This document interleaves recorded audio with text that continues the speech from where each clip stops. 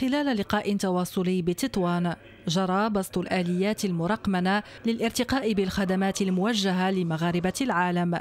اللقاء حضره رؤساء الجماعات الترابية ومسؤولو المصالح اللاممركزة بالمنطقة بالإضافة إلى فعاليات المجتمع المدني. ويأتي تنظيم هذه الفعالية التواصلية بمدينة تطوان بالموازاة مع الانطلاق الرسمي لعملية مرحبا 2022 وما يستوجب من عمل تواصلي منظم لإحاطة أفراد الجالية بعناية خاصة عبر تحسين ظروف استقبالهم.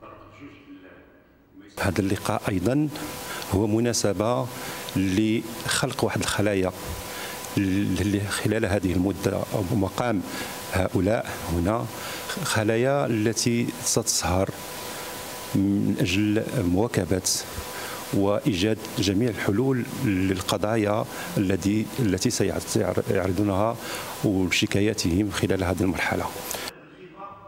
اللقاء شكل فرصة للتعرف على حاجيات مغاربة العالم ذات الطبيعة الإدارية وتشخيص بعض الاختلالات الممكنة في علاقة المندوبية الجهوية لمؤسسة وسيط المملكة والإدارات المعنية بخصوص القضايا العالقة الخاصة بمغاربة المهجر.